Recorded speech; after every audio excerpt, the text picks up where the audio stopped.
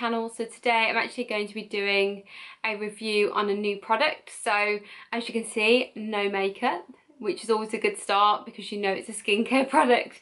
So I've actually purchased two new Laura Mercier products. So I've got the Tinted Moisturiser Illuminating Natural Skin So this is what the packaging looks like.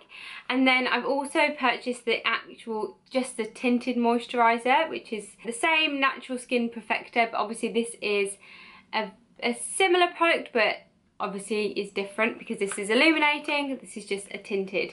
So today I'm actually going to only be reviewing one, but I'll do the other on Instagram probably later on this week.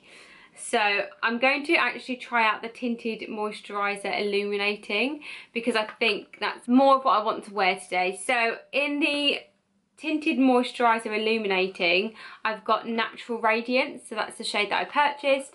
And then in the Tinted Moisturiser, I just purchased the 3N1 Sand, because I think that would be more my shade in this one.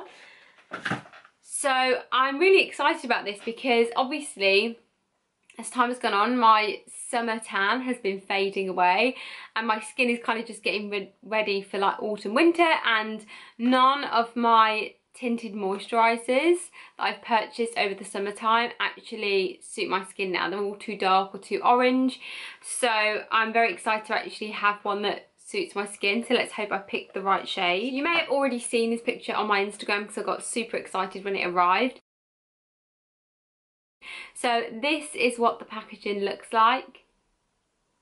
It's very, very lovely. I've never actually purchased anything from Laura Mercier before, so I actually don't know what the quality of her products are like, but from what I see on Instagram and YouTube, I people love her or love her products. But then I also know that a lot of influencers that obviously get paid sponsorship do like review her products. So I always find that you just never really know if the product's any good or whether they're just obviously saying they're good because they're being paid to say it's good. I just you just don't know. I just thought I would do my own honest review of this. What I really liked about this as well is that it's got SPF 30. So obviously if I travel at any point between now and when I finish using this bottle, I'm covered on my face because I hate wearing sun cream on my face. So I like to have products that have SPF in. Let's give it a whirl, shall we? So really simple applicator. It comes out like a foundation, but looks like it's the right shade for me. So that's a good start. So what I'm just going to do is just take it and dot it around my face. My skin is really healing.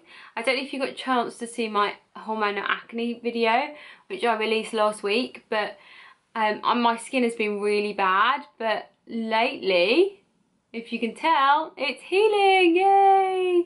This is going on really nicely. Look, it's definitely my shade it's kind of like evening my skin out. It feels really dewy, which I expect from a tinted moisturiser.